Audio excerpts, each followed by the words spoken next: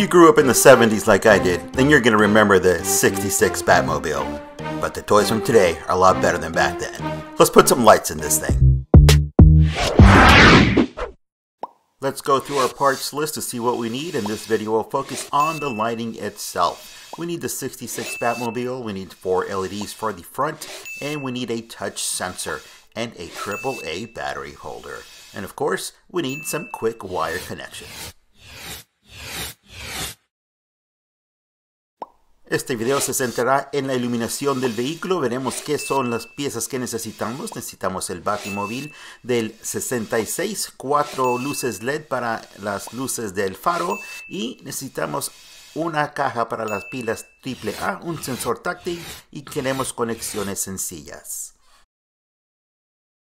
All parts used in this video today are from evandesigns.com.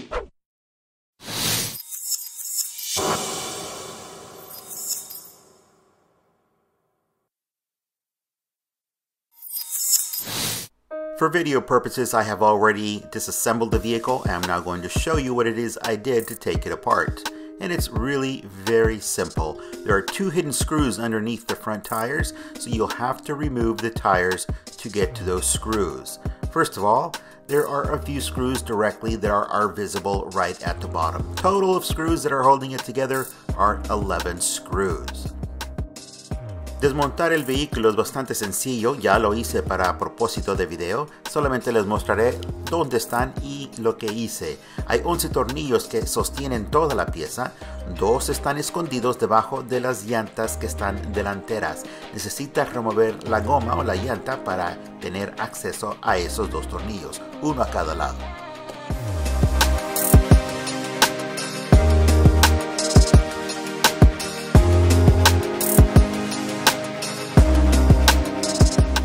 It opens up like a clamshell and it's easiest to open up the rear before you open up the front.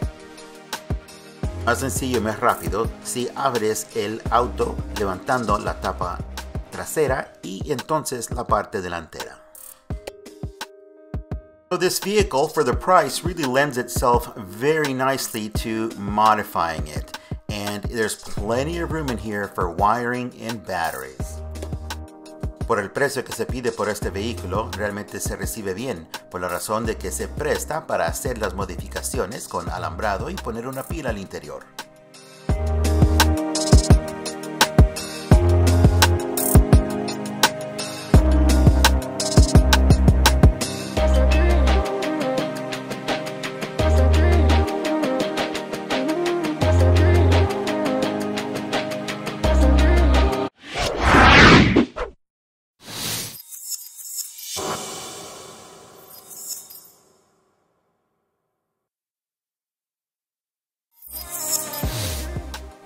This touch sensor works so much better with a AAA or AA battery than this uh, 2032 battery holder. If you use this, you will need a actual separate switch, and that just kind of defeats the purpose of having a touch sensor switch.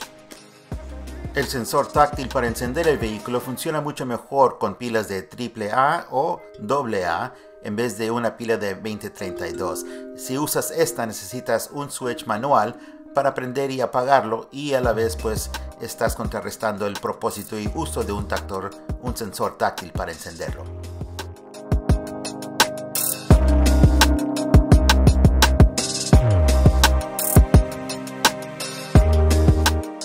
So the touch sensor switch already comes pre-labeled what end goes to what so it makes it much easier for install. And as you can see, it's very sensitive as far as switching on and off, so it makes it very convenient to use it that way.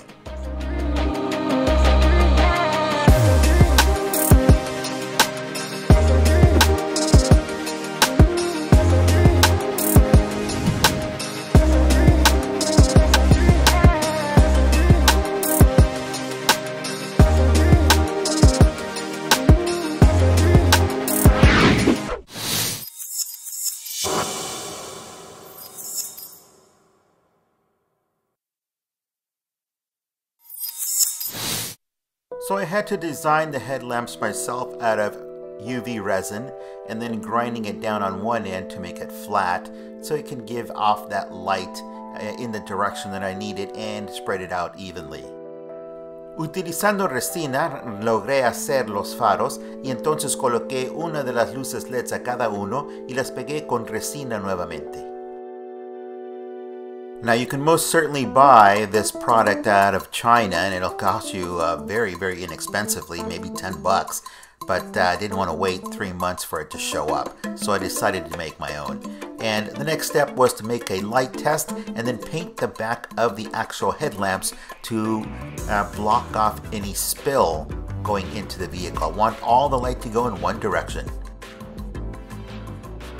Es por seguro que puedes comprar ese producto ya hecho desde China y son bastante económicos. Sin embargo, yo no quería esperarme tres meses para recibir el producto, entonces yo decidí hacerlo yo mismo. Ahora eh, sigue a hacer una prueba de luz como ven aquí y entonces tendré que pintar los faros ah, por atrás de color plateado y negro para prevenir que haya luz que se despida al interior. Quiero toda la luz en una sola dirección.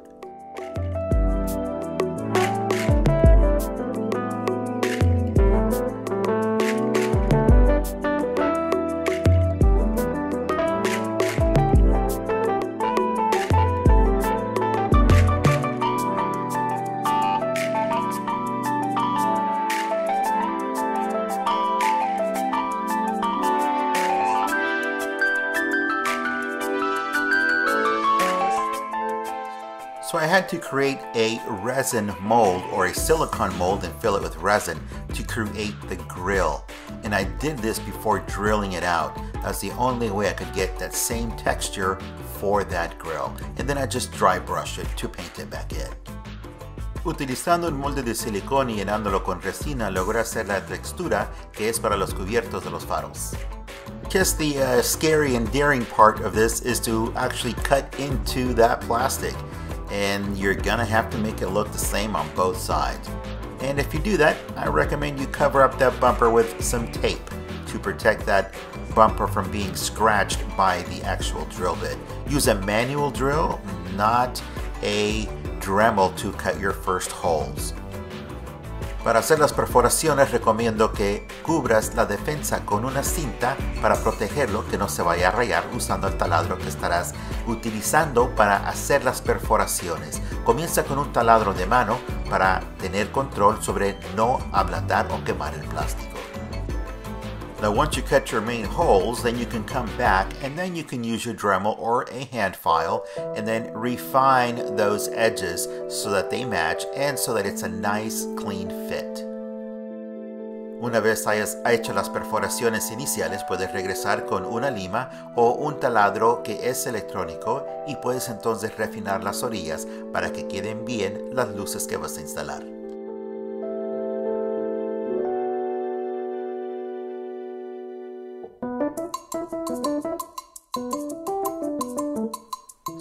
Mix up some orange resin to fill in the turn signals. And yes, we did drill those out, but we're to have to put a piece of plastic, a styrene, glue it in to fill in the turn signals. Así es que con una resina color naranja vamos a rellenar las perforaciones que hicimos en los señaleros. Y sí, les hicimos una perforación, pero vamos a cubrirlos con plástico al que está atrás, entonces rellenarlo con resina. Y sí, podría haberlo dejado en plástico negro. A este punto, pues ya se hizo, hay que rellenarlo. So using another silicone mold and then filling it with resin, this color, orange, I created the texture for the turn signals. Utilizando otro molde de silicona y rellenándolo con resina, esta vez color naranja, pues logré hacer la textura para los faros, o sea, los señaleros del vehículo.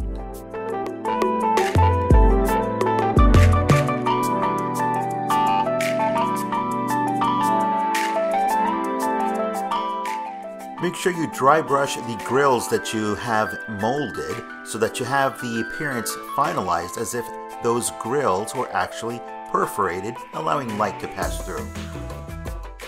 Antes de colocar los faros, asegúrate de pintar a brocha seca los moldes que son las cubiertas de los faros. Así te da la apariencia que tienes perforados esas piezas que transmiten luz.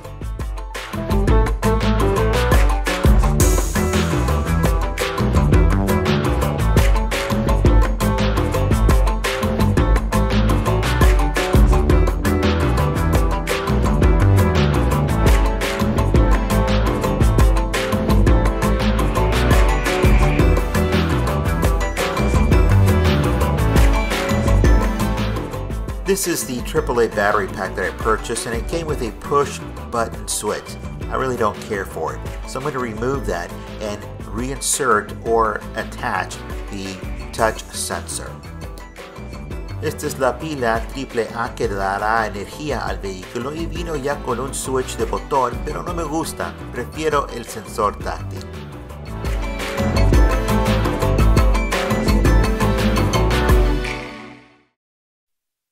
So if you still want to use the push button switch, this is what it would look like. Personally, I don't care for it. I prefer the touch switch. But before I move on to that, let me show you what I did with the turn signal lights. I actually painted those in orange using Tamiya X26. That way we have a better color coming from these lights because they actually came in white. Así es que pinté las luces de los señaleros con Tamiya X26, una pintura color naranja que es translucente y nos dará un rendimiento de color naranja mucho mejor porque las luces vienen en blanco. Y también pinté los señaleros que instalé con ese mismo color Tamiya X26.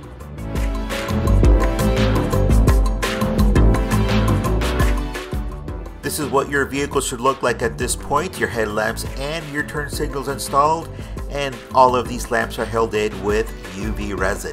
It is at this point that you can see how much light spillover you have, and you can go in and paint it in black to keep that down.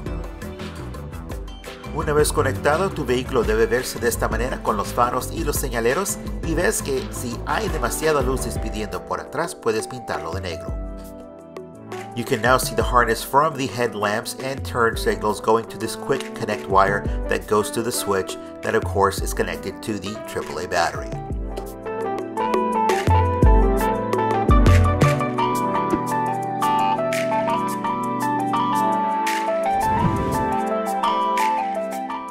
So this is what your vehicle should look like now with your headlamps and your turn signals installed. And remember, we used Tamiya X26 to get a better color rendition out of those turn signals. And right now, the vehicle is not complete, so the body is not fully attached. So you do see a gap on the corners there, but we still got a ways to go. Este debe ser la apariencia de tu vehículo a este momento, pero todavía no terminados, así que el vehículo no está sellado, por eso ves esas aberturas en las orillas.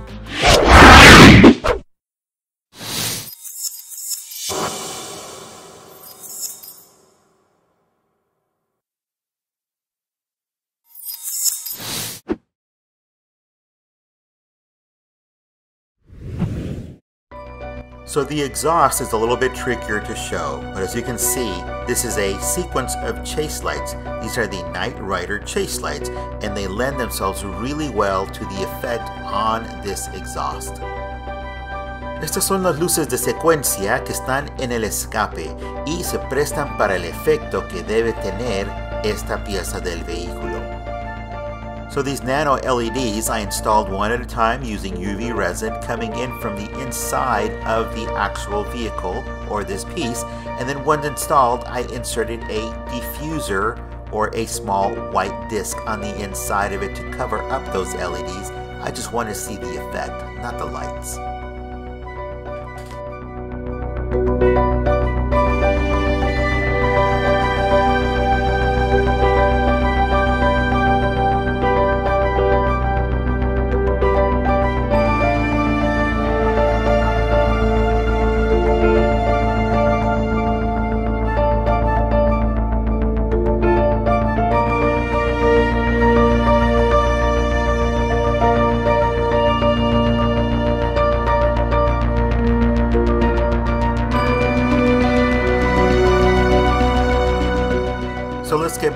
Wiring and let me show you the layout.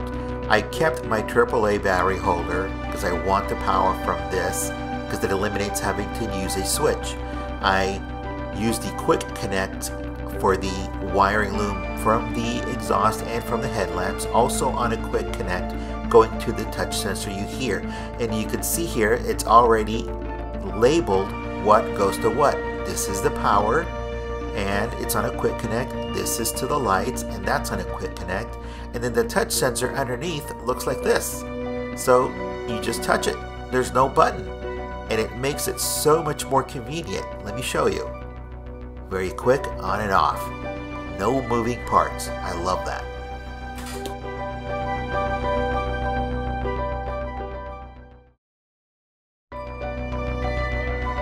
Observa cómo los faros y el alambrado del escape están conectados juntos al sensor táctil donde dice hacia luces. Esa es la primera etiqueta a la derecha. La etiqueta más arriba, esa es la etiqueta que apunta la conexión a la pila o la fuente de energía y conectado directamente al sensor táctil.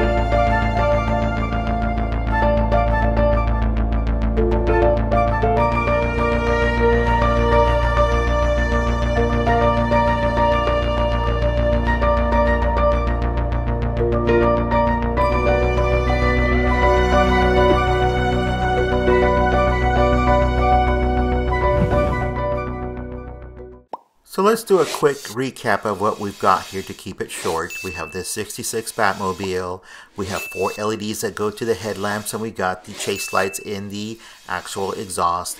And we have a touch switch, AAA battery holder, and quick connect wires so that we can work quickly. Hagamos un breve repaso de lo que se necesita para este proyecto. El Batimóvil año 66, necesitamos cuatro luces LED para los faros y señaleros y luces para el escape. Todo con una fuente de pila AAA, un sensor táctil y unas conexiones sencillas. Remember, this is only part one of this project. Like, comment, and subscribe if you want to see part two of this project. In the meantime, enjoy the rest of this video. Recuerda que esta es solamente parte número uno de este segmento en este proyecto. Si quieres ver el resto, entonces no se te olvide suscribirte a este canal, comentar y claramente te esperamos aquí la siguiente vez.